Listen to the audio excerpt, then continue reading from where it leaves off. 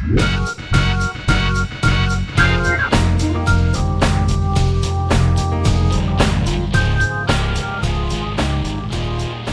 right, everybody, you tuned in to Death is Just Around the Corner, and we're, we're taking some calls. Caller one, what do you got for us? Hi. Yeah, say, this is Tony from Philadelphia.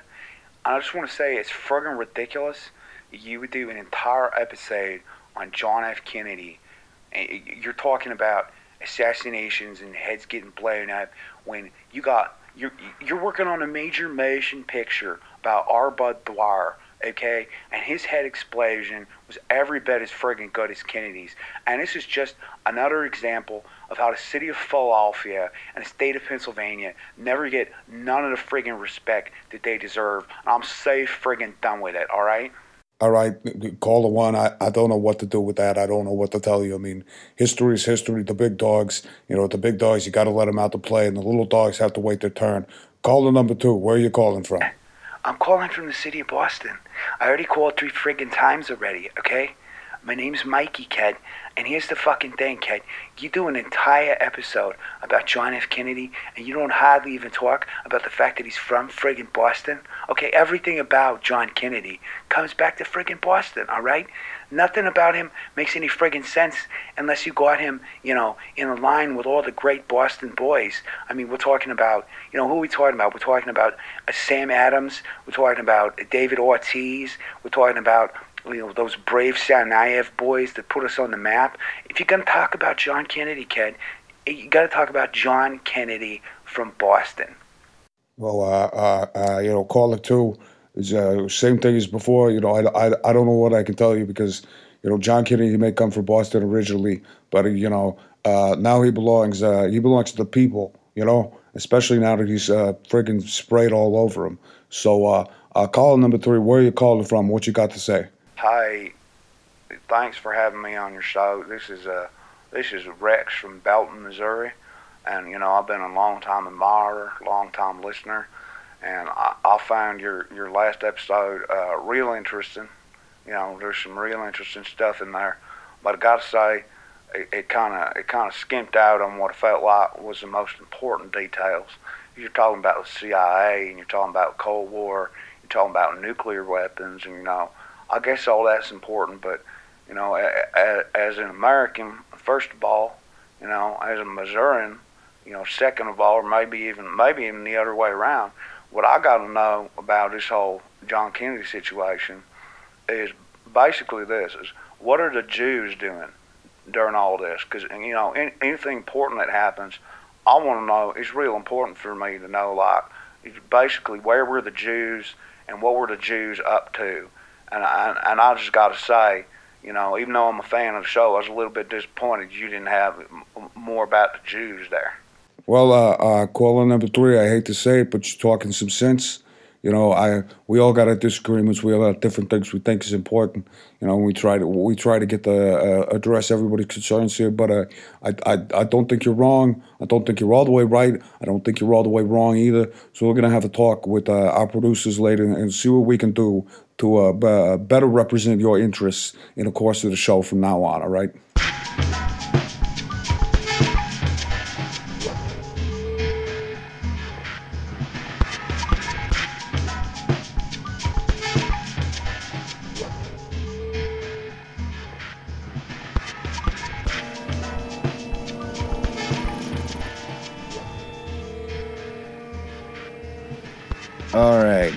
Everybody, we are extremely goddamn back for episode 70, part two of this whole JFK thing. And I had hoped to uh, get through this material in an episode or two, but it's become clear there's so much information and it's so important that we need to do uh, probably a total of three or four. And I've tried to pattern these episodes, tried to build their their inner architecture such that the most important things would come up again and again, and you would have a hard time forgetting them. But if you're the kind of person who likes to take notes, get a notebook out because there's a lot of information coming at you.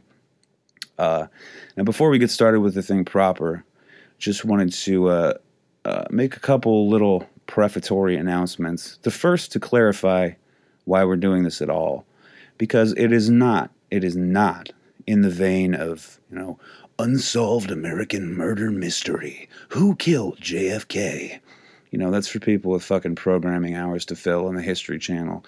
And it is most certainly fucking not to gild the lily of the, the tragic grandeur of the beautiful but doomed Kennedy family, which is not just, you know, adolescent fatuity, it's actively pernicious in that it obscures the entire reason this thing fucking matters.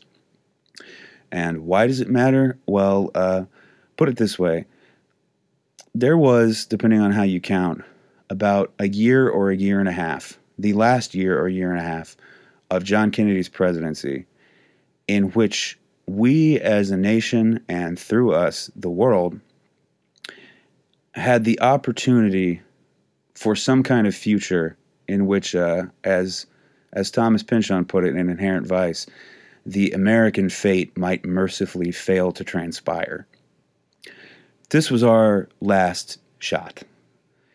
And the world since then, the world of endless war all over, endless imperial expansion, endless neoliberal austerity enforced by violence, endless American backed dictatorships all over the world, you know, the hundreds of thousands dead in Central and South America, the hundreds of thousands of desaparecidos, no one knows if they're dead, the uh, 4 million killed in Vietnam, the no one knows how many million killed in Cambodia and Laos, the millions dead in various African quote unquote civil wars, almost inevitably with CIA backing on one side or the other. And you can guess which kind of side the CIA took. Um, plus the million dead in Iraq and the who knows how many dead in Afghanistan and Syria and Libya and Pakistan and Somalia. The entire order of things since then. This was our last chance to prevent that from happening. So, Kennedy's assassination does not simply matter as some historical triviality or blot upon the national psyche, though it, it certainly matters as a blot upon the national psyche. I mean, I think that's part of why uh, people are so goddamn lazy about understanding its meaning. No, it, it matters because this was the last time somebody in a position of sufficient power had a glimpse of the real machinery of state, which is to say, largely secret state, and to his everlasting credit, threw himself into the fucking gears.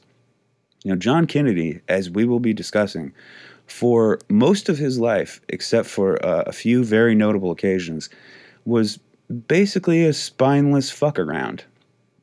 Uh, but on those few occasions, he outdid himself, and he knew perfectly well that he was going to die for what he had done. In fact, uh, before the uh, the little campaign trip press junket that took him through Dallas, he actually told his wife that he thought he was going to die soon and started discussing political assassinations. And he said to her, "You know how they do it, right? They would uh, they would either have a shooter shoot from some kind of you know protected angle along a motorcade, or they would have someone come up to me with a gun in the crush of a big crowd. And there's John and there's Bobby. And uh, I don't know nearly as much about Bobby Kennedy's death, by the way, but from what I do know, it seems safe to say that, if not absolutely certainly, then almost certainly, the CIA was responsible for that too.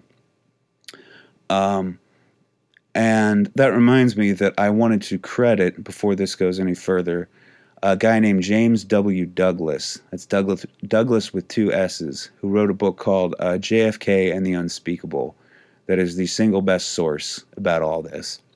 Uh, Douglass was an alumnus of the Catholic Workers, so you're going to have to sit through some ponderous ass analogies between JFK and Thomas Merton. But trust me, it's worth it. You will learn a great deal there. And the other thing I wanted to say before we get started was just a correction of a couple errata from the previous episode, all having to do with Iran, incidentally.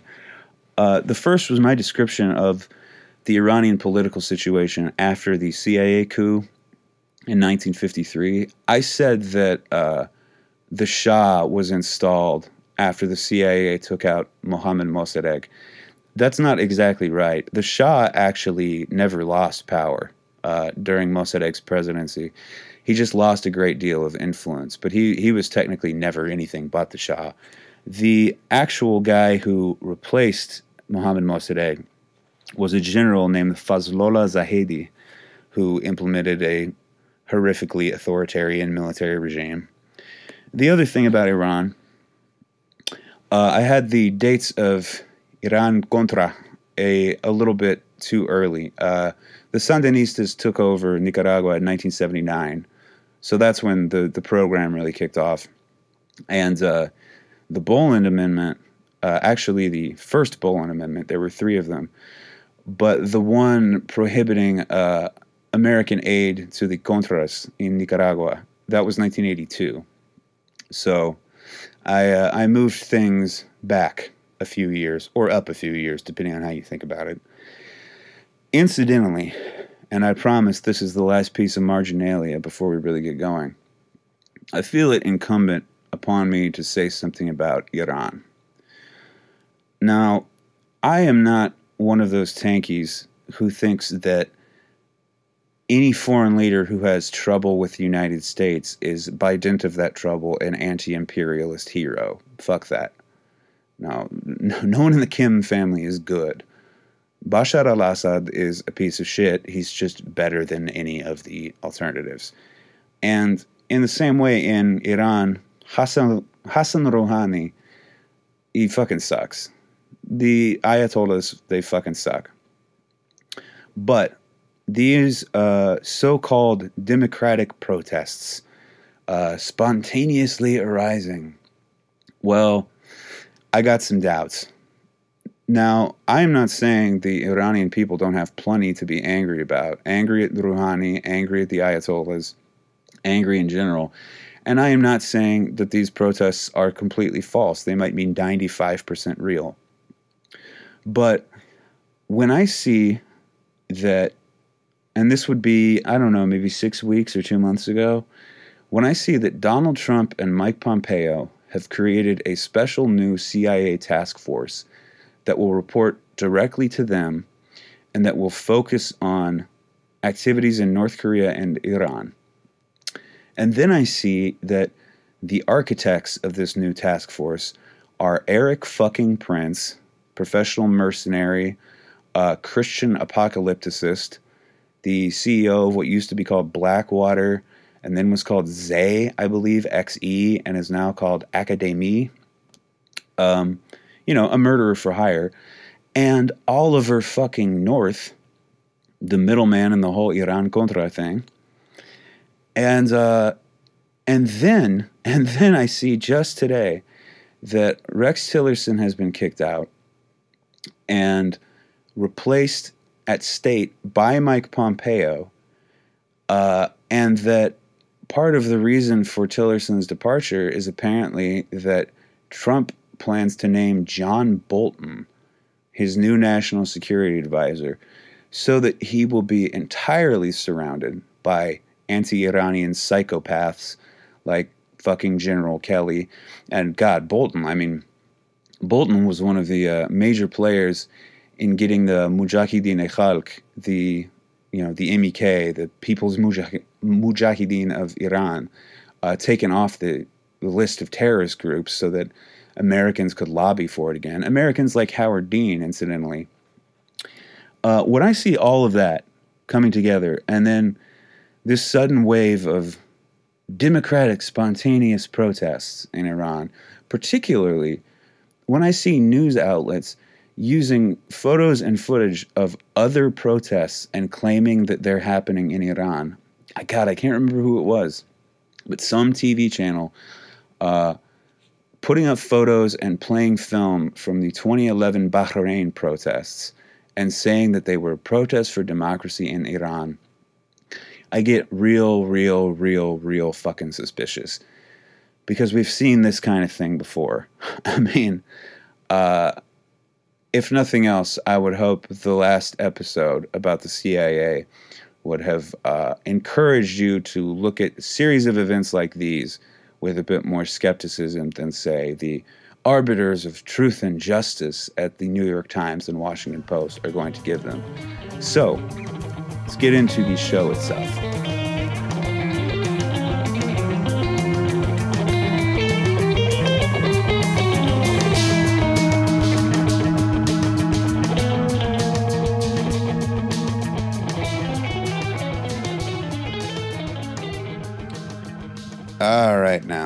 So, what we're dealing with in this episode is who was this feller, John Kennedy, and why was he worth killing? What made him threatening? And in order to address that question, we're going to have to talk about Kennedy himself and his background, but I think we should start rather with the uh, the Washington that he inherited, particularly in the form of uh, foreign policy. Now, Dwight Eisenhower, um, he will tend to be celebrated by some of your more credulous liberal types for having made that famous military industrial complex speech. Well, Dwight Eisenhower was also one of the most two faced, backstabbing sons of bitches in American history. And uh, a lot of the time, he was doing that backstabbing to Richard Nixon, so it was funny. But that uh, military industrial complex speech was tremendously insincere on any number of levels. Uh, let's list them, shall we? This, this, this apparently aggrieved and concerned elegy for a state at risk of, you know, the acquisition of unwarranted influence, as he said, to the uh, of the military-industrial complex, or rather by the military-industrial complex, the risk that quoting here, public policy itself could become the captive of a scientific technological elite. Well, no shit, Dwight. Number one, uh, you knew that because it was under your presidency that the CIA assumed the dimensions of a secret government, thanks to Allen Dulles. Uh, number two, the day Ike made that goddamn speech, January 17th, 1961, three days before Kennedy's inauguration, uh, his CIA was having Patrice Lumumba murdered in the Congo. We're going to talk more about Lumumba later. And, um, you know, normally it's, it's not necessarily safe to tie the actions of the CIA to the will of a given president, as Christ, as Kennedy well knew or would find out. But in this particular case, we have it on record that Eisenhower wanted the CIA to murder Lumumba. So as he's giving this speech, uh, we're taking out Patrice Lumumba half the world away. And the perhaps uh, uh, greatest depth of insincerity uh, reached in this speech, or rather, I should say, constituted by the very existence of this speech, was a thing that had happened just about a year earlier. Uh, a thing called variously Operation 40 or Group 40. Group 40 were the people involved, Operation 40 was the thing, or rather, the uh, umbrella term for a whole grouping of things. You see, in late fi- 1959, our boy, Allen W. Dulles, head of the CIA, he had a little confab with uh, a CIA agent named Colonel J.C. King, uh, late 1959. Uh, King was the uh, CIA chief of Western Hemisphere operations at the time. He was one of the first organizers of the anti Jacobo Arbenz coup in Guatemala, and he was eventually a point man on the coup in Brazil in 1964 that replaced, and how many times have we said this, the democratically elected socialist João Goulart with the militarist autocrat uh, Castelo Branco. Uh, King called up Dulles, and you know this would be uh, not so very long after Fidel Castro uh, successfully took over Cuba, and said, you know, we're doing great things. We did great things in in Iran. We did great things in Guatemala, but we cannot allow communism to gain a foothold in the Western Hemisphere, much less 90 miles off our goddamn coast. We need to do something. And um, Dulles naturally agreed. So they talked to Eisenhower, and in March of 1960, Eisenhower convened this thing. Well, I should say first, convened this uh, study group, task force, called Group 40. And Group 40 was basically going to deal with assassinations and invasions. Group 40 was the CIA kills your ass uh, top dogs. Um, as to the precise membership of Group 40, oh God, if there's any document in American history I could see, it might be that one. Who was at the first meeting of Group 40? Because uh, naturally, they're not going to tell you. We do know a few specific names because they were official government representatives there. We know that Dulles was there. We know that Colonel J.C. King was there. We know that the uh, meeting was chaired by Richard Nixon, then the vice president. And we know that there were three advisors from the administration there uh, Admiral Arleigh Burke, who was the chief of naval operations, um, the phenomenally 50s old guy named Livingston T. Merchant, who was the state undersecretary for political affairs, and Gordon Gray, who was uh, Eisenhower's top national security advisor. As for the rest of Group 40, we can't say to an absolute certainty who they were. What we can do, however, is look at uh, all the various things that happened under the umbrella of Operation 40 and see the people who were in charge of them. And it is fair to surmise that these people, since, you know, they happened bang, bang right away, were almost certainly part of that initial group of 40. So, folks, this is going to be a hit list of some of the great villains of the latter 20th century. And incidentally, this will also be the nucleus of the people who murdered John F. Kennedy. Kennedy's assassination comes absolutely straight line out of Group 40 and Operation 40.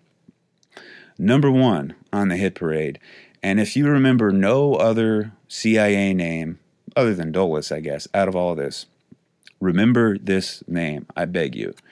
David Atlee Phillips. That's Atlee, A T L E E. David Atlee Phillips. Um, one of the more evil men in American history. Uh, it is also important to remember, this will come up later, that he used the uh, field code name Maurice Bishop. And wherever the CIA was doing evil shit, from about the mid 50s to the mid 70s. David Atlee Phillips was there. He was there in Guatemala in 1954. He personally walked the Guatemala City station chief uh, through the the coup that ousted Jacobo Arbenz and installed Carlos Castillo Armas. He was one of the planners of the Bay of Pigs. Uh, after the Bay of Pigs, he led an illegal and non presidentially sanctioned anti Cuban terrorist strike force called Alpha 66. We'll have a lot to say about Alpha 66, too. Uh, eventually, he became the chief of Western Hemisphere operations for the CIA, following up uh, Colonel J.C. King, the guy who called the meeting, and led what was called the Guerra Sucia in Mexico, the Dirty War, in which the uh, CIA and the Mexican PRI, if I'm if I've got this right, the Partido Revolucionario Institucional.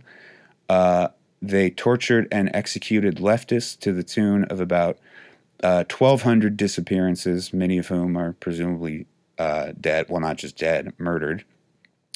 Uh, David Atlee Phillips was in the Dominican Republic. After 30 years of military autocracy under a feller named uh, Rafael Trujillo, who had our backing, uh, the Dominicans elected uh, a leftist named Juan Bosch in 1963, and Phillips and LBJ got together to replace Bosch with a Trujillo puppet named Joaquin Balaguer. Uh, it took three years of civil war in which 3,000 people died, and then during Balaguer's presidency, uh, there were 11,000 more murders.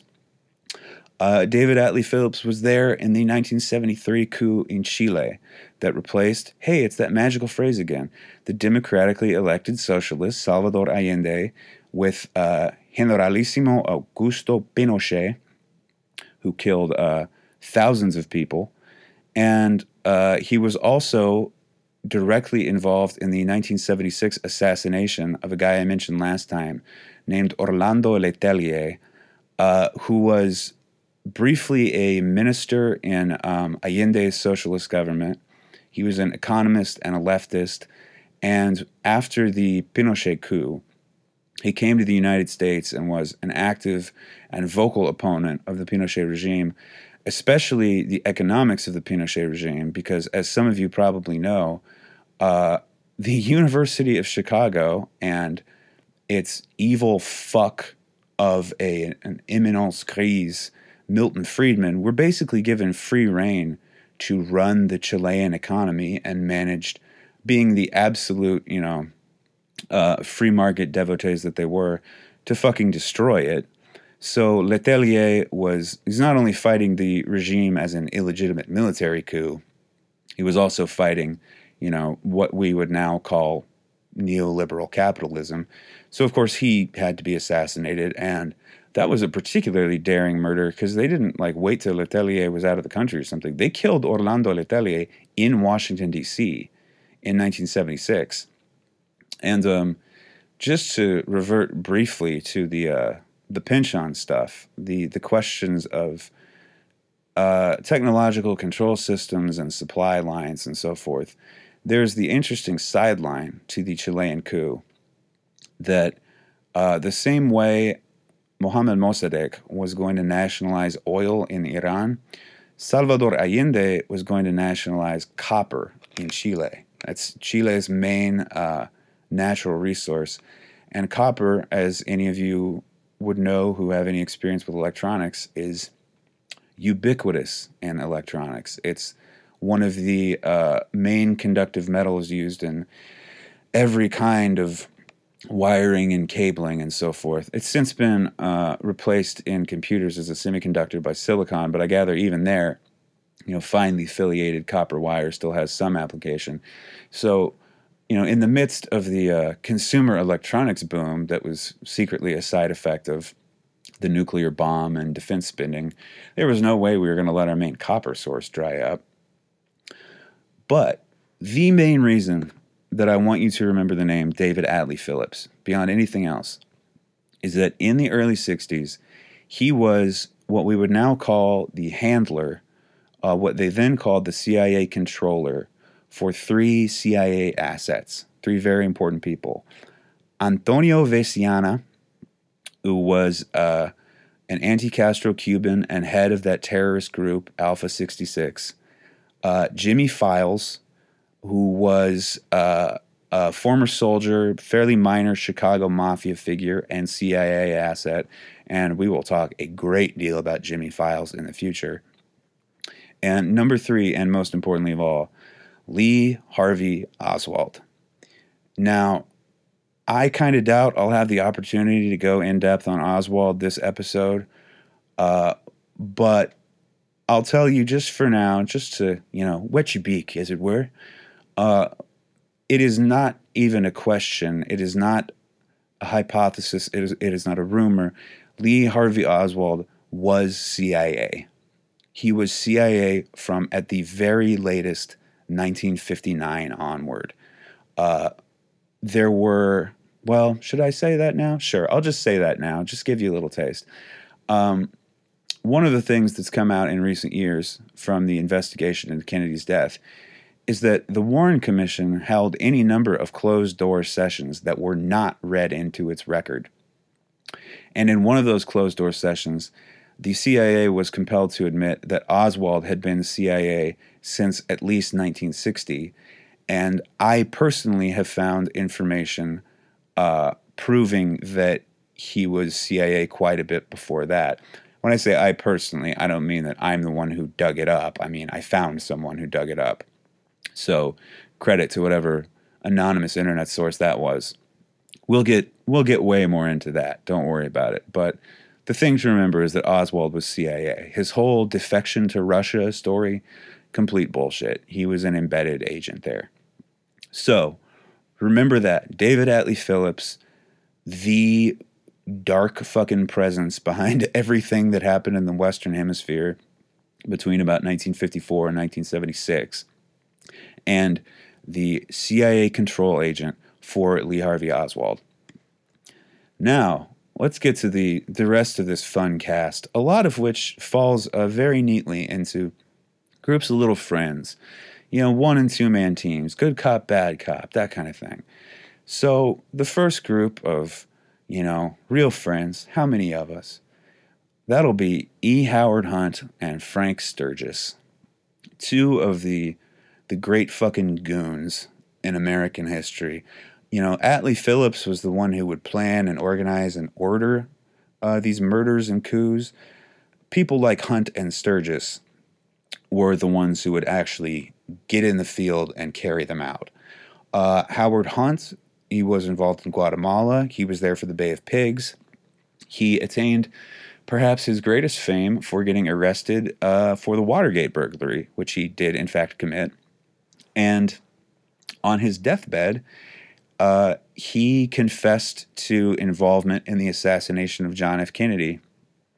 And we will get uh, eventually to his confessions. They were, I would say, of not dubious authenticity in the sense that we don't know if he really made them. He did make them, but he was very old and maybe kind of senile. And uh, it's hard to say, it's hard to speculate as to the soundness of his mind. But um, among other things, he indicated the involvement of any number of the people we're about to talk about. And he alleged that uh, LBJ knew about the whole thing. I should say right here and now, I guess, to save you the suspense, I have never seen anything to prove uh, beyond a shadow of a doubt that Lyndon Johnson knew about the Kennedy assassination before it happened. I can tell you uh, to a certainty, and I'll describe this later, that he knew at the very latest the next day that the official story, the Oswald story, was bullshit. And strictly as a matter of opinion, I can tell you that uh, if if the CIA came to Lyndon Johnson and say mid '63 and basically told him, uh, "We're going to kill John Kennedy, and you can either be next or you can be our man," if you know anything about Lyndon Johnson, you know his answer is, I, am your man." I mean, I, I, do not claim to have read that mammoth, what is it, four volume Robert Caro uh, biography of Johnson. I have read enough of it to know that he was a snake oil salesman, son of a bitch, who would do absolutely anything for power. Uh, I mean, the guy, when he was like 10 years old, his nickname was Bullshit Johnson. So I don't know whether Johnson knew about the assassination beforehand. I don't have any trouble believing it. I do know that he knew almost immediately afterward that the official story was fake. Uh, now, Howard Hunt's friend, Frank Sturgis, I mean, perhaps the goon to end all goons. The funniest thing about Frank Sturgis to me is that uh, Howard Hunt, in addition to uh, being a goon, wrote horrible spy thrillers in which he uh, ridiculously, you know, pompously, in horrific purple prose, uh, romanticized his own life as, you know, a thug. Tried to make himself out as fucking James Bond. And this is hilarious because Frank Sturgis's name was not Frank Sturgis. He was born Frank Fiorini. He may have changed his name to Sturgis because the hero of one of Howard Hunt's novels was named Hank Sturgis. So, I mean, that's the kind of super tight bros from way back when we're talking about between these two, right? Um, Sturgis, much like Howard Hunt, uh, Bay of Pigs, uh, Watergate burglary. Uh, he actually worked for Castro during the revolution and then against him after it. This is something that's often forgotten now, but uh, during the Cuban Revolution, the United States was not very certain of Fidel Castro's political orientation we didn't know where he was going to fall, and he seemed to vacillate a little bit himself. So, any number of CIA and CIA connected people did favors for both Castro and Fulgencio Batista, the dictator he was trying to topple.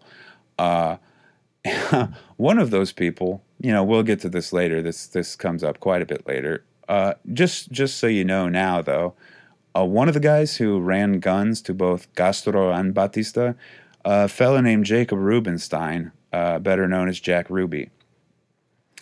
But back to Frank Sturgis. Uh, after the Watergate burglary, he eventually became a Miami police snitch and confessed involvement in, uh, his words now, assassination plots and conspiracies to overthrow several foreign governments, including Cuba, well, we already know that one, uh, Panama, and that would mean he worked with Manuel Noriega, who was, of course, a CIA asset from the 50s onward.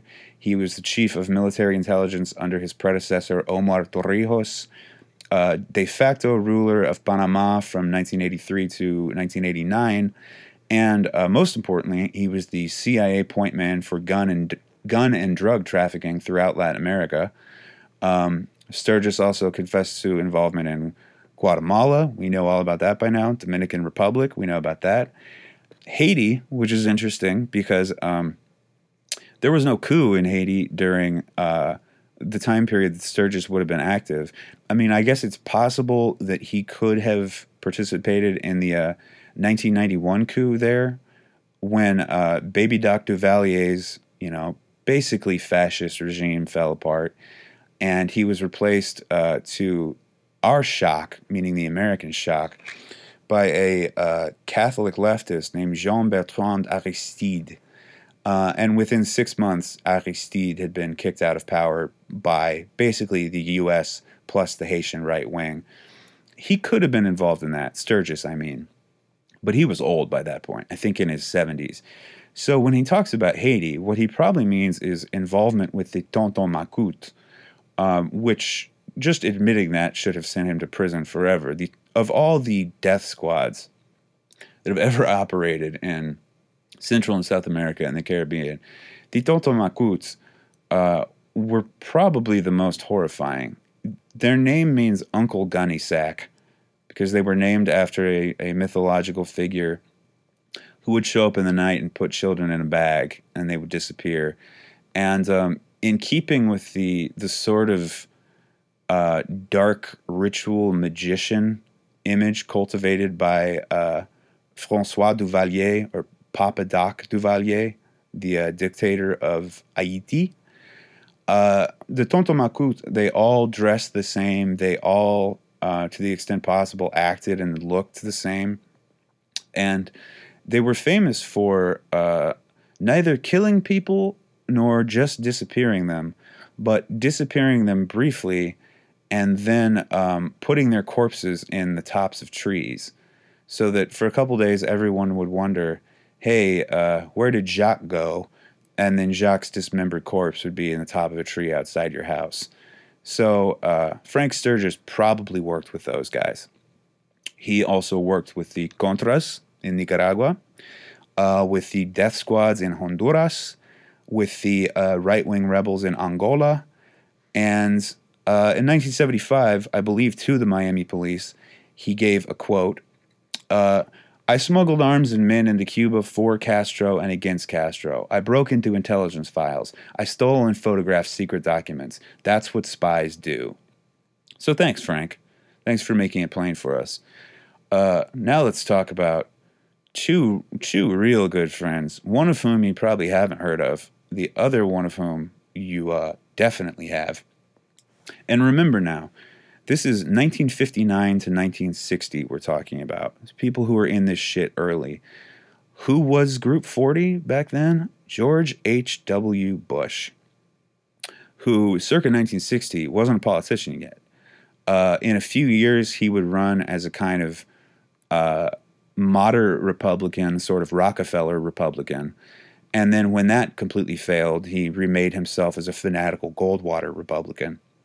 But in 1960, he was a multimillionaire oil man, uh, working for a subsidiary of Brown Brothers Harriman, which is very, very interesting.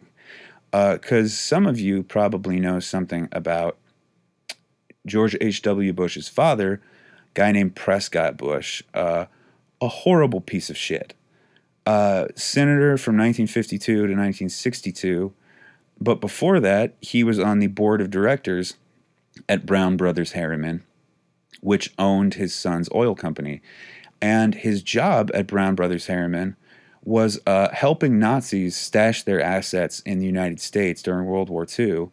Uh, most notably, Fritz Thyssen of the ThyssenKrupp company, uh, most famous now for elevators. Uh, Fritz, of course, major Hitler donor and uh, user of slave labor. And he helped stash money for IG Farben, the uh, the German dye, you know, chemistry pharmaceutical uh, firm, and anyone who's read Gravity's Rainbow knows all about IG Farben. Uh, Prescott also was allegedly involved in a little thing called the business plot. Um, there was this feller named General Smedley Butler uh, who wrote a little, I think you'd call it a pamphlet more than a book, called War is a Racket, that, that briefly became popular between the two world wars, in which he essentially explained that you know, war is not about two sides fighting each other over any question of ideology or borders or what the fuck ever. War is an excuse for people to make money. War is, and Thomas Pynchon again would sum it up years later war is a celebration of markets. And as Pynchon said, the, the violence is mostly self policing and can be left to non professionals. Now, the important thing is the celebration of markets. So, and this is all alleged. There's no proof about this, but uh, uh, Smedley Butler is a military figure, but he has definite populist and left appeal. He says that in 1933 he was approached by a group of rich men, which included uh, Felix Warburg or Warburg of the Warburg Bank family, uh, J.P. Morgan Jr., and Prescott Bush. And they told him they could assemble a fascist army of 500,000 World War I veterans to march against the White House and take the White House on the pretext that Roosevelt was incurably sick and was dying and they would install Butler uh, with the title Secretary of General Affairs and make him basically a dictator, and they would keep Roosevelt there in a you know uh, ceremonial capacity, so it wouldn't officially look like a coup, but basically a fascist overthrow of the government. And um, Butler immediately went to the authorities with this because he was not a fascist. And uh, of course, nothing ever happened.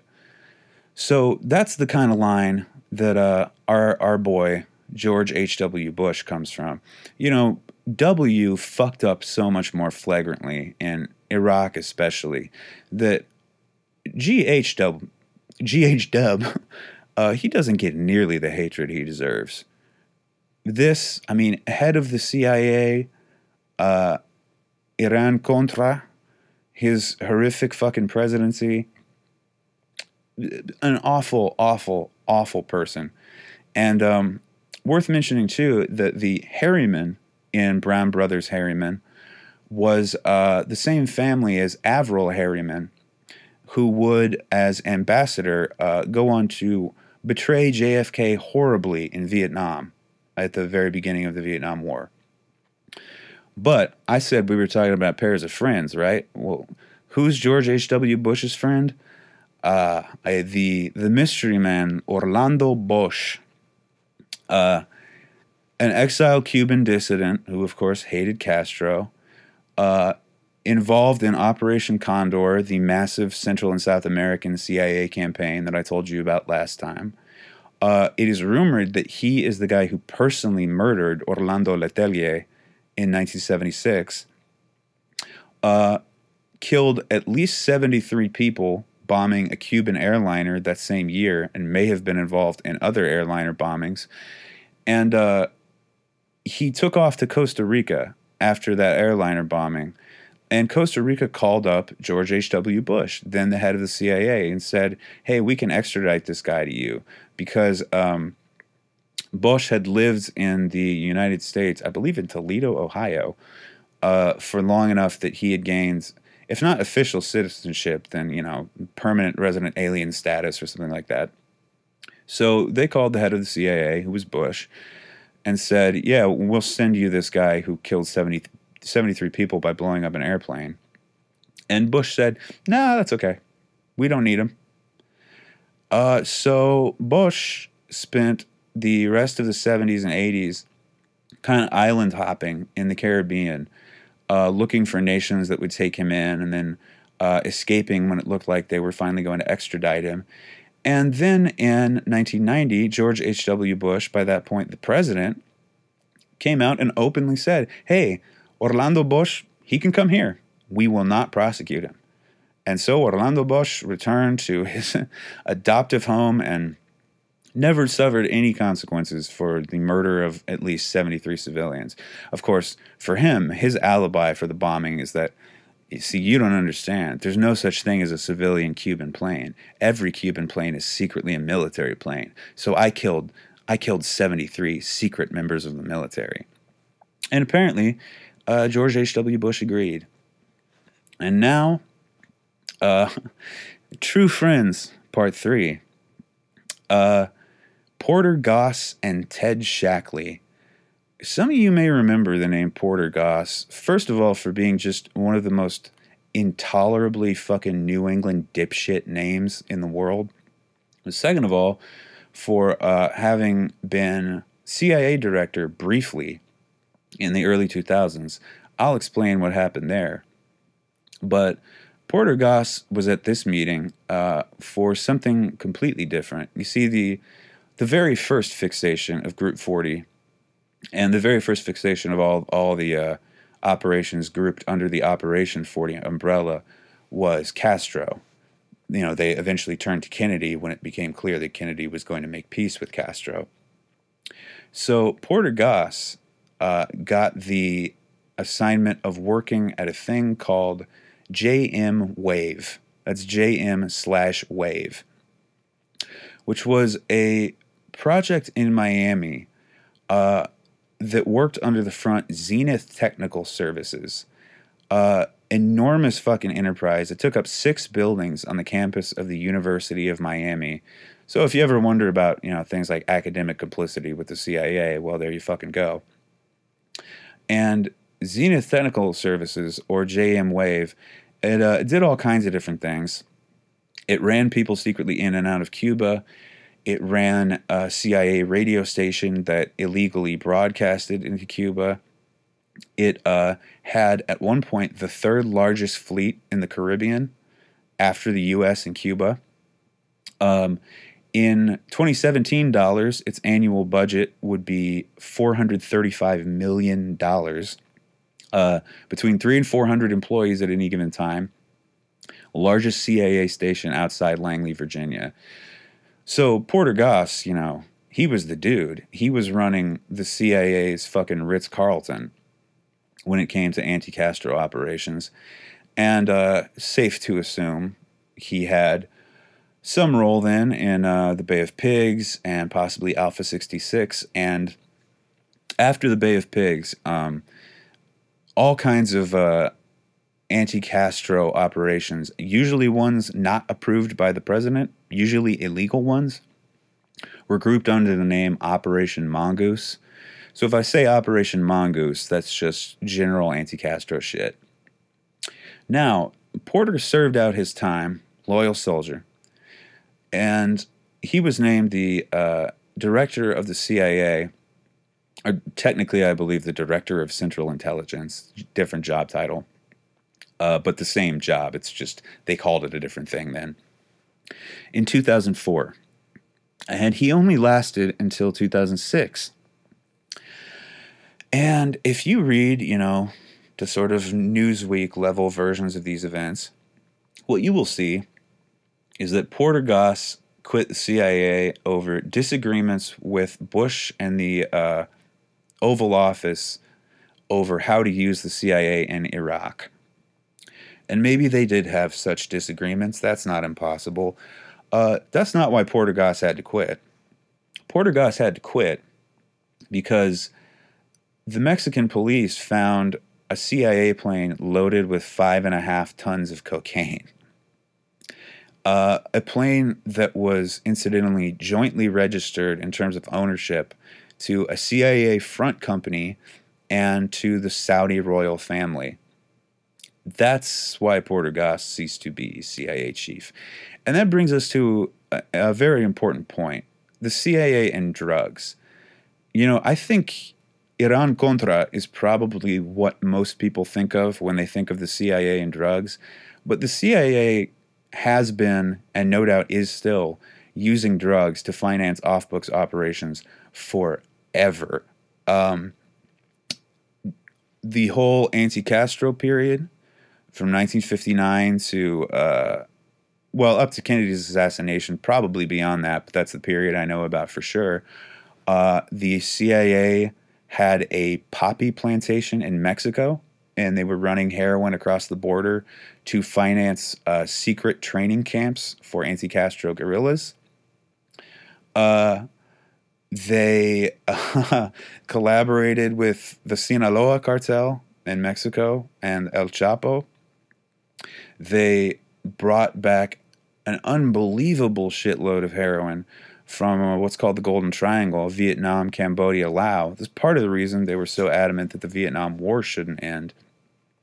And uh, we'll get to this a little bit later, but uh, they financed most of their operations in Laos by selling heroin. And uh, interesting, interesting modern development that you probably know that El Chapo is in jail in New York State right now and awaiting trial. Well, he's gotten out of jail twice before, and neither time was a fucking accident. The first time, in fact, he literally just paid Vicente Fox, the president of Mexico, uh, $9 million to get out of jail. And it wasn't just corruption, it's also that no one wants El Chapo testifying because he knows so much fucking dirt about so many governments, particularly the American and Mexican governments. We don't want him on the stand. Um, I personally would be kind of shocked if he testifies at any point. I'm guessing he's either going to accept a plea deal or he's going to get murdered in prison before he ever has a trial. And um, normally I wouldn't mention something like a celebrity blind item, but with the horrors coming out of Hollywood lately, uh, particularly regarding uh, institutional systematic pedophilia and child abuse, I would be remiss not to mention that uh, certain blind item dumps have had all this stuff perfectly accurately uh, months and sometimes even years before it was announced. And I bring this up because one of those blind item dumps is reporting that uh, El Chapo's wife, uh, I believe her name is Emma Coronel Aispuro, has been having uh, low key meetings with Huma Abedin, the uh, now, I believe, ex wife of Anthony Weiner, but more importantly, number one personal aide to Hillary Clinton. And I'm guessing what Emma and Huma are discussing is the fact that uh, El Chapo had a deal with the American government from the early 90s until just the last few years, in which he was allowed to operate the Sinaloa cartel with impunity as long as he would help us destroy the other cartels.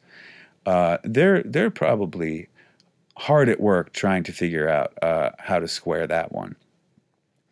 Uh, back to the true friends, part three.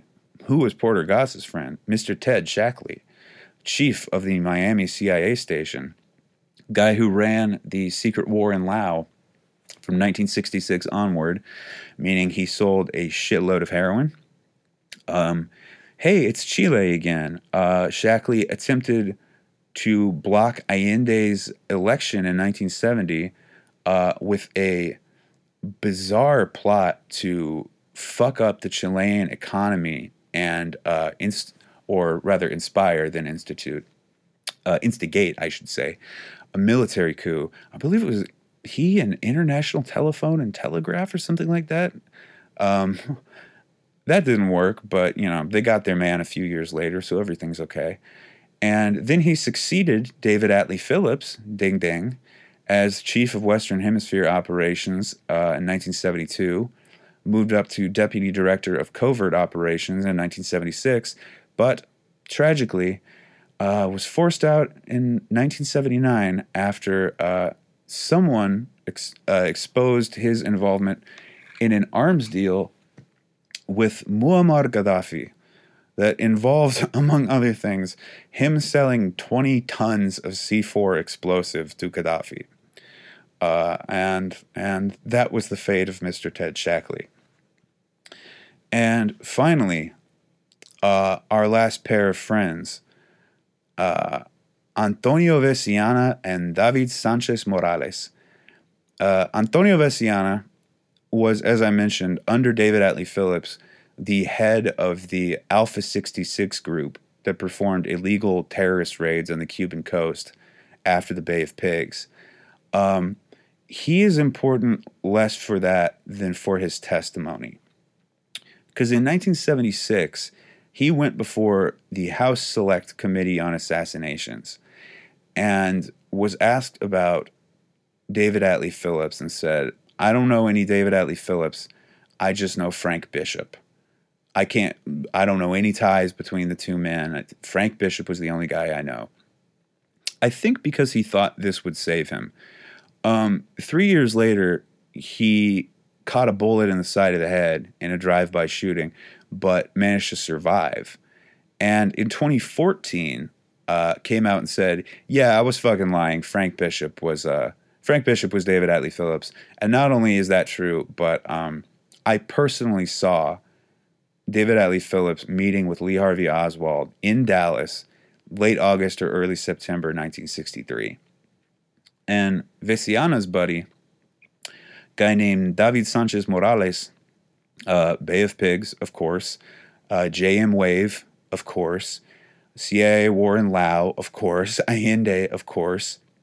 Um, this is still kind of a matter of conjecture, but there is a photo of Bobby Kennedy's assassination that appears to show David Sanchez Morales in the background. And um, he finally agreed to testify to the House Select Committee on Assassinations in 1978. Uh, and then just a few days before it, had a heart attack out of nowhere and uh, no autopsy on that one. So naturally, you know, we can just put this to bed. And now the the last few figures from this uh, this group 40 hit list. You know, most of the time people say murderers row. They're speaking figuratively. This is a an actual row of murderers. Um, Barry Seal was probably there. Uh, CIA pilot ran drugs. Uh, definitely part of the Iran Contra, probably part of other drug running schemes, and uh, was murdered in 1988, suspiciously right after uh, threatening George H.W. Bush by saying he would talk about CIA stuff if Bush wouldn't help him get the IRS off his back. And then a figure I wanted to end this list with because he's a very important liaison uh, a an interface between two worlds. Uh, William King Harvey, the man they called the American James Bond. Now, if you look up a photo of William King Harvey, it is painfully obvious that he gave himself that nickname because nobody else thought that motherfucker looked like the American James Bond. Uh, but he was part of the Bay of Pigs. He was part of Operation Mongoose. Uh, he was uh, there for Operation Gladio, so he was old time CIA, um, was part of a bizarre plan, a codename PB Jointly, to dig a secret tunnel from west to east Berlin that we could use to get into the Soviet Union. Um, but the two most important things about uh, William King Harvey are this.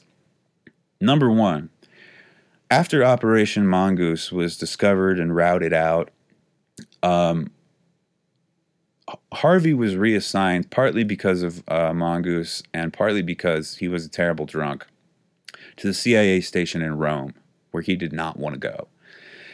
And I can't tell you if this story is true. I can only tell you that I've heard it several times. Supposedly, the night before Kennedy got killed, uh, so that'd be November 21st, 63, Harvey went out drinking through an all night raging drunk, came in the next day, hadn't slept, uh, same clothes, still shit faced, And one of his underlings said to him, you know, geez, boss, are you sure you don't want to go home and sleep this one off? And Harvey said, I can't go home today. Today's the day we kill the president. The other important thing about William King Harvey is that he was the CIA's main link to the mafia, specifically Sam Giancana, Johnny Rosselli, Santos Traficante, and Robert Maheu. And when I talked in the first episode about the fact that the CIA is in some ways basically a contracting organization, one of its biggest contractors is the mafia.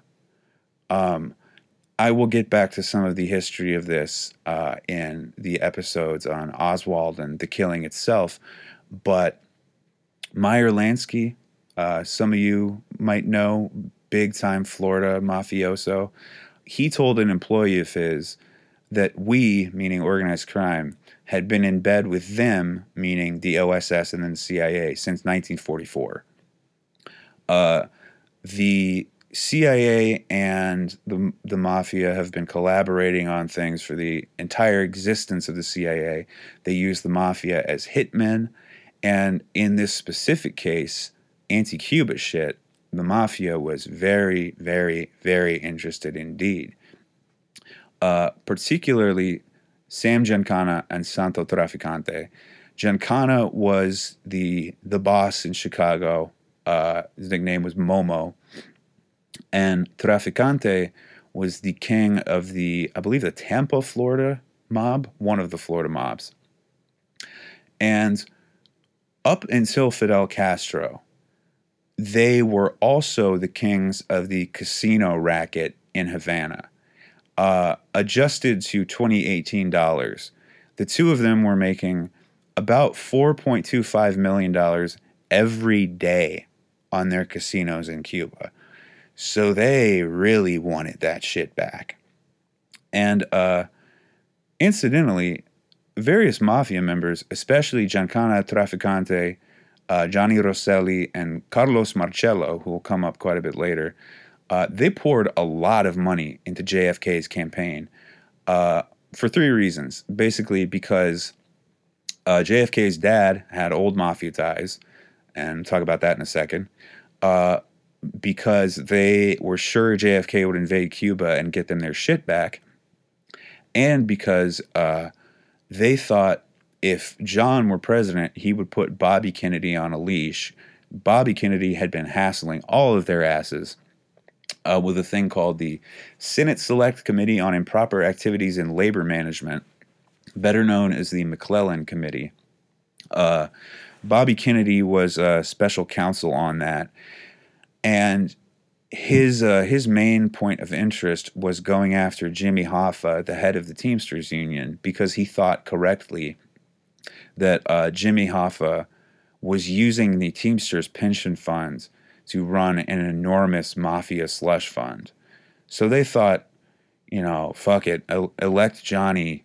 He'll tell Bobby to to cool it down.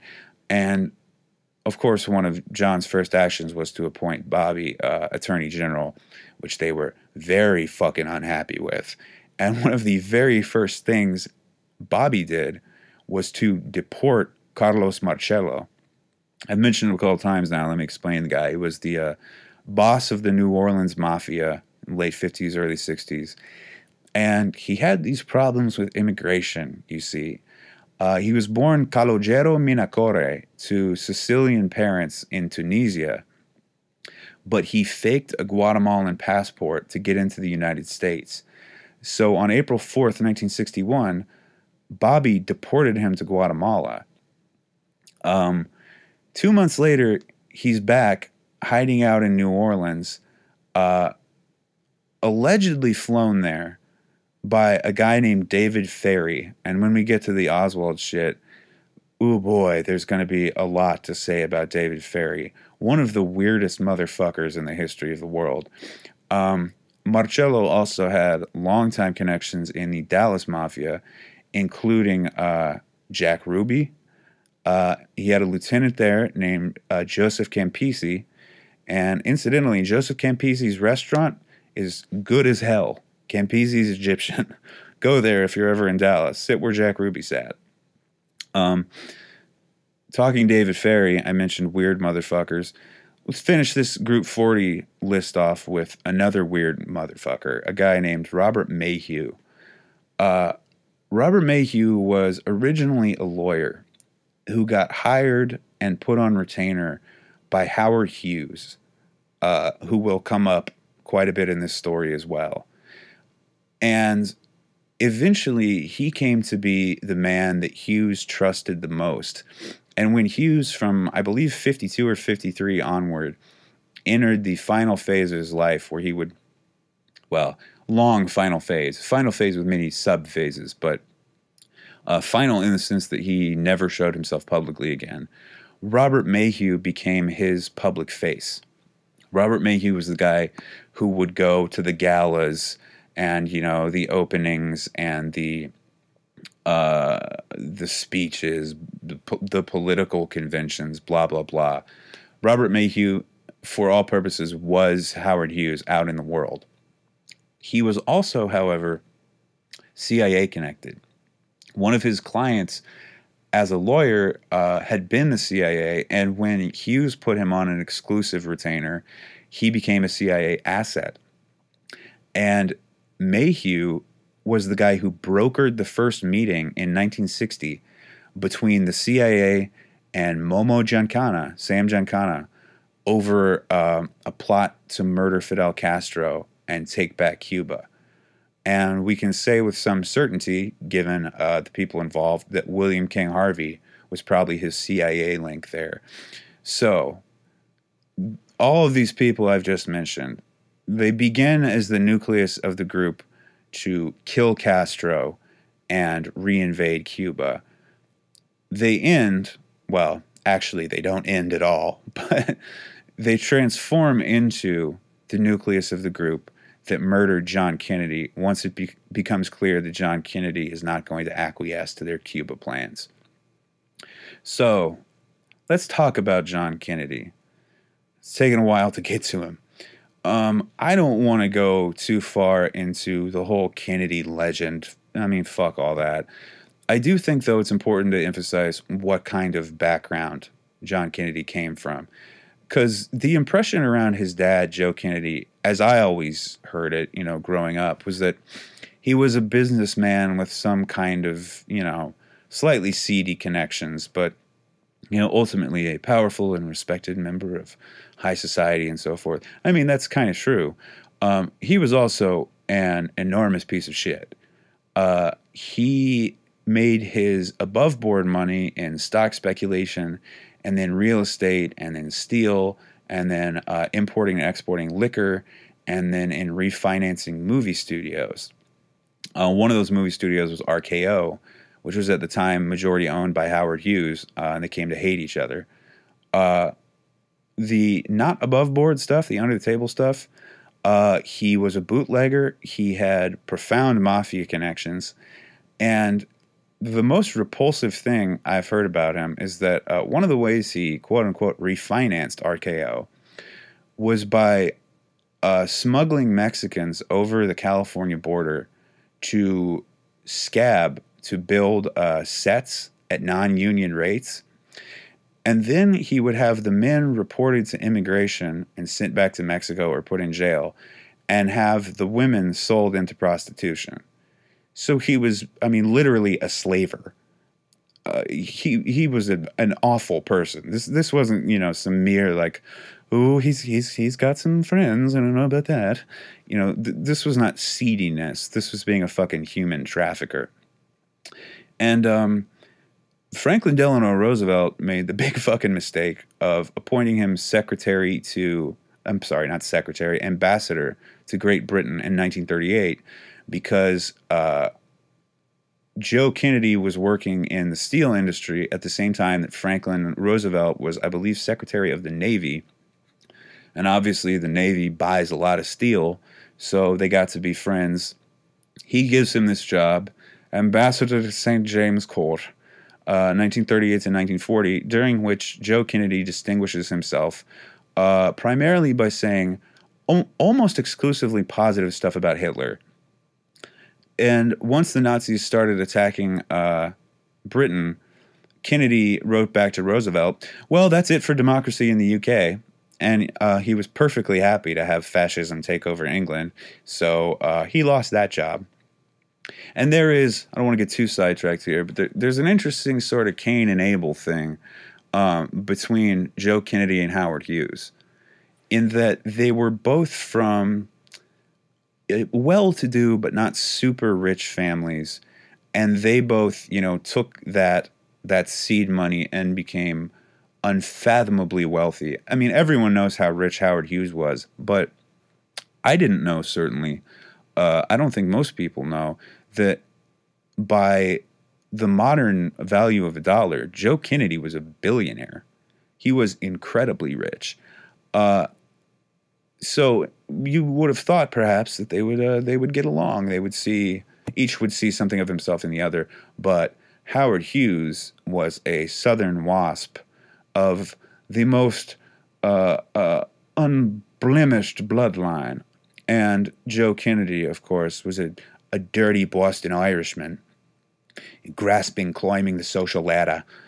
Um, and I have to think that Hughes saw something of his his mirror image in in Kennedy in that uh you know Hughes's outward persona was all jet engines and jet planes and movie stars and movie premieres it you know was the the ultimate sort of uh, rich high society uh, extremely clean extremely manicured image and Joe Kennedy was deep in dirt and everybody fucking knew it, but nobody could do anything about it.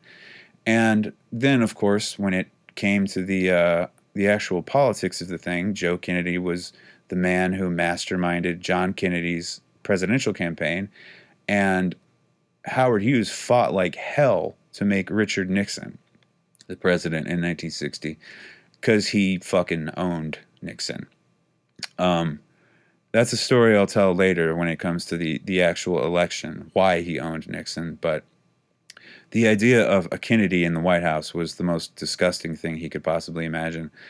Uh, and uh, Howard Hughes also was phenomenally racist, like racist to an almost unbelievable degree. Uh, he didn't say this kind of thing in public, of course, but he was a firm proponent of the idea that we should reintroduce slavery in the United States. Um, so the fact that Kennedy, you know, made nice with civil rights groups, I mean, nothing could have revolted him more. So speaking of Kennedy, that'll be John Kennedy. Where did this fucking guy come from? You know, in terms of his politics, uh, the guy that made himself eventually dangerous enough to be murdered. That's a difficult question to answer. Well, it's both difficult and simple. Simple in that, you know, a couple clear events made it happen. Difficult in that um, it really doesn't square with the rest of his life very well at all because for most of his political career, JFK was the exact sort of center right war hawk liberal mediocrity who would be perfectly at home in the modern Democratic Party, uh, as would Richard Nixon, for that matter. Their politics were not that appreciably different in the early days. Uh, now, Kennedy, of course, before he was a politician, had the advantage of being a war hero. The famous PT 109 incident, we see he was in the Naval Reserve, uh, August 1943. He was um, in charge of a patrol torpedo boat, uh, was patrolling New Georgia in the Solomon Islands. The boat got rammed, it broke in half. He uh, personally towed a badly burned, unconscious crew member to a nearby island by putting the belt of the guy's life jacket between his teeth and swimming, and then had to tow the guy the same way to another island when it became clear that no one was going to uh, uh, rescue them there. And only a few months later, you know, gets out of the hospital quickly. And in November 43, uh, commanded another patrol torpedo boat, PT 59, that rescued 87 Marines stranded on uh, what I'm guessing is pronounced Choiseul Island, also in the Solomons. Uh, there are certain military historian types who will tell you that PT 109 was an enormous fuck up. That Kennedy should have been court martialed over it because his boat never should have been there in the first place. Uh, that may be true. I don't know. I don't pretend to know nearly enough about military tactics to tell you if he was right on that account.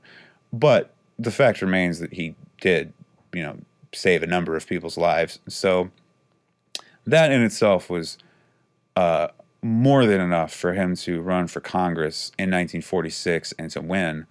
And as a congressman, he was uh, a complete fucking mediocrity. He was a, uh, an absolute supporter of the Truman Doctrine, that, you know, all kinds of aggression in foreign countries was totally justified uh, insofar as it would help us stop the spread of demonic communism. He was in favor of the Labor Management Relations Act of 1947, which helped weaken labor power. He was in favor of Jesus Christ, the Immigration of Nationality Act in 1952, in which communists would have to register with the federal government. Um, the only good thing he did as a congressman, as far as I can tell, was go on one of those little learning visits um, to what was then French Indochina uh, and would now be called Vietnam. He and Bobby went along. And uh, this was a little while before the first Indo Chinese War, before the Viet Minh uh, started fighting the French. So, you know, they, they knew to look at this place in terms of a possible uh, military venue. And both JFK and RFK decided in 1951 it would be fucking suicide to fight a war here. In this terrain against these people, to try to come and occupy this place and what subdue them and just stay forever, that's fucking lunacy. Never ever fight a war in Vietnam. So he had this in mind from 1951 on. Then, of course, having done his uh, six years as congressman, uh, becomes a senator in 1952 and again is a total mediocrity as a senator. He, um, if you look at the historical record, officially he voted yes on the 1957 Civil Rights Bill. Uh, what that doesn't tell you is that that was the second version of the 1957 Civil Rights Bill. The reason there needed to be a second version is that a number of people, including John Kennedy, had helped gut the first and much stronger version. Um, I don't completely understand the legislative mechanics of this thing, but as I understand it, uh, the vote came up for the first version of the much stronger civil rights bill, and Kennedy cast a procedural vote that would allow the Senate to split the bill up into its constituent uh, titles or articles so that you know you could vote for part one and part four and none of the rest, which uh, you know completely destroyed the unity of purpose of the bill. So then they had to write another one, much weaker one that only incorporated the things that had, had garnered enough votes in this splitting up, and Kennedy voted yes on that. So I mean, just fucking cowardice. And um, the Kennedys were also very tight with McCarthy. And though JFK uh, drafted a speech supporting the censure of McCarthy after the you know Army McCarthy hearings and all that, he never delivered that speech. Uh, he managed to be indisposed on the day when he was supposed to give it, and he never voted on the censure. And in fact, uh, Bobby Kennedy's first job was uh, serving for seven months as assistant counsel to McCarthy on the permanent subcommittee on investigations. Although, to Bobby's credit, he later helped fuck McCarthy and Roy Cohn in the Army McCarthy hearings. So, you know, Bobby made good on that. Um, my impression of Bobby, just incidentally, is that he was much firmer in his convictions. Bobby was the fucking Catholic Avenger. You know, Bobby was out there to uh, destroy people who fucked around in ways that he didn't like. Uh, as I say, I mean, as I think his record demonstrates, John was just your absolute bog standard, slightly to the right of the middle of the road mediocrity. Um, but goddamn, did he have profile?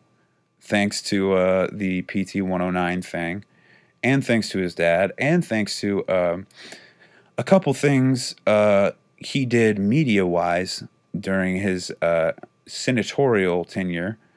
Uh, a book in 1957 called Profiles in Courage that won the Pulitzer Prize for biography.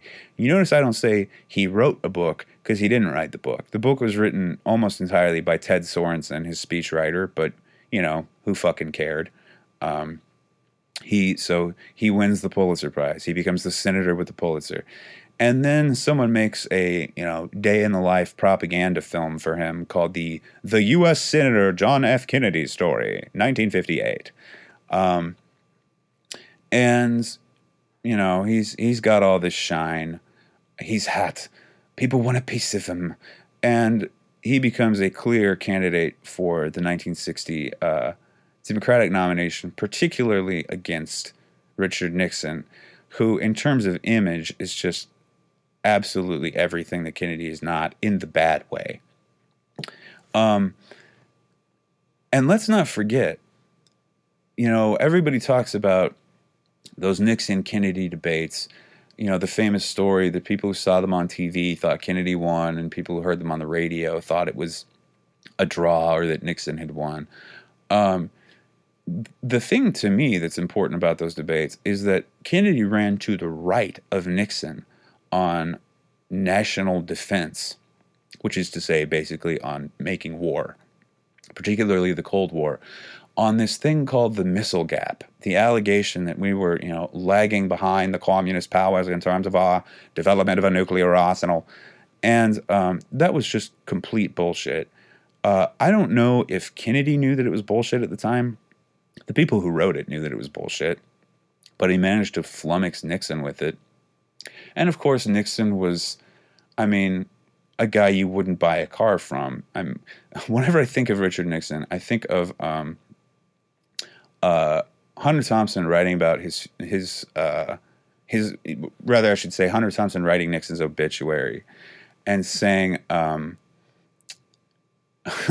he was so crooked he had to screw his pants on. Even his funeral was illegal. He should have been buried in a dumpster. Like Nixon was just the most flagrantly fucking slimeball piece of shit in American politics. You could argue that there were people who had way worse politics than Nixon did. And as I have not failed to mention on this show before, Nixon's politics, as repulsive as it is to say this, are uh, in many ways considerably to the left of your average Democrat in 2018. Uh, but Kennedy you know, he had that fucking glow. He had that charisma. Uh, you listen to the Watergate tapes years later, and Nixon is still obsessed with the fact that he, he just didn't have that, that goddamn fucking star power that that goddamn fucking Jack Kennedy had. And I think uh, if you could get people to be absolutely honest, I think a lot of people would tell you they voted for Kennedy not because of any particular, you know, conviction, or certainly not because of any particular policy, but just because they felt like it meant something. Because he gestured vaguely in the direction of youth and change and progress without, you know, being very concrete as to what any of that meant. Um, having seen almost exactly the same thing with Obama, I feel like I've got a pretty good sense of it. And there was also the Howard Hughes thing I mentioned earlier it came out during that campaign, and this is a hilarious thing, both because it's funny in itself and because it's funny that of all the ways for Richard Nixon to go down, he should go down this way. That in 1956, Howard Hughes uh, was facing uh, trouble from the IRS and trouble from his stockholders and takeover attempts at his various companies. So he had the idea to start a charitable foundation called the uh, Howard Hughes Medical Institute that was pretty plainly a fraud, and then gift all of his stock in the Hughes Airplane Company to this charitable corporation, which would mean that um, all the earnings on that stock would be tax free. You know, it's a charity. and that Hughes Airplane would become the tax exempt subsidiary of a charity owned by Howard Hughes. Um, to make this happen, he needed the IRS to certify the Medical Institute as a tax exempt charitable organization, even though it was obviously fake. So Hughes took a look around him and thought, you know, who seems bribable? And looked at Richard Nixon and thought, oh, yeah, that guy's bribable. So he sniffed around the Nixons a little bit, trying to figure out what, what Richard would appreciate, and found that Richard's brother Don was trying to cash in on Richard's political fame by starting a fast food franchise called, I shit you not, Nixon Burger. He was going to have Nixon burgers all up and down the California coast, baby. So Howard Hughes gave uh, Don Nixon uh, $200,000, which, if my math is right, is uh, like 1.6 million or something like that in modern money to start Nixon Burger. And the burger chain completely failed. Uh, I mean, who wants to associate Richard Nixon with eating? Uh, but as soon as uh, Eisenhower and Nixon got reelected in late 56, bing, bang, boom, the charitable certification for the Hughes Institute comes through. So someone passed that info to the JFK campaign and it came out and you know every uh, every suspicion you'd ever had about Richard Nixon uh, just from looking at him was completely confirmed. So Kennedy wins. Uh, he wins pretty narrowly, and he wins with a lot of help from the mafia, from Sam Giancana, from Carlos Marcello, from Johnny Rosselli, from Santo Trafficante in particular, especially in uh, Illinois and West Virginia. And then we got to go back to something I mentioned earlier the CIA's murder of Patrice Lumumba. Um, uh, Lumumba, some of you will know, he was the main impetus behind uh, the Congolese independence from Belgium, behind the the Congo's recognition as its own state. Uh, big proponent of you know the political philosophy that came to be called Pan Africanism. Uh, first prime minister of the Democratic Republic of the Congo. So naturally, naturally, Allen Dulles uh, personally described Lumumba's assassination as, I quote, urgent and prime objective. Uh, and the CIA uh, spent about six months trying to kill him. Uh, Eisenhower ordered them in September 1960 to kill Lumumba with poison toothpaste, which didn't work. But in December 1960, the CIA station chief in Elisabethville uh, helped the uh, the allies of Mobutu Sese Seko, who was Lumumba's main political challenger, uh, find Lumumba. And Mobutu, of course, would go on to be the autocrat of the Congo from 1965 to 1997, and would become the, you know, the archetype of the kleptocrat. So with the CIA's help, Mobutu Sese Seko's people put Lumumba in prison in uh, December 1960. And then on January 17, 1961, uh, they kill Lumumba, again with the CIA's help. In fact, um, they put Lumumba's corpse in the trunk of a CIA agent's car. What you may remember about that date, January 17, 1961, is that it was the day fucking Eisenhower gave the fucking military industrial complex speech. And it was also uh, three days before Kennedy's inauguration. And Kennedy, on the campaign trail, had let slip that uh, this would this would be after he had already won, but before he'd been inaugurated, that he thought the way Lumumba was being treated uh, was unfair and unwise, and that you know he didn't know whether or not the Congolese people wanted Lumumba to be their president, but certainly the man shouldn't be in jail. So the CIA had him killed, specifically as a fucking warning to John Kennedy. And uh, I think that is a decent place to leave it for now. Now, now that you know the cast of Group 40, the kind of things they were involved in, the sort of political nullity John Kennedy was for uh, for most of his life, and the kind of opposition from his own government he was facing by the time he became president. And next time, I'm going to tell you about the two things that transformed John Kennedy.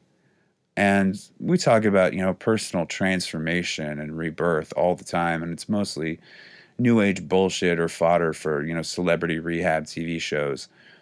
But John Kennedy truly was a different person over the last year and a half or so of his life. Uh, the best evidence for which is that he was murdered for it.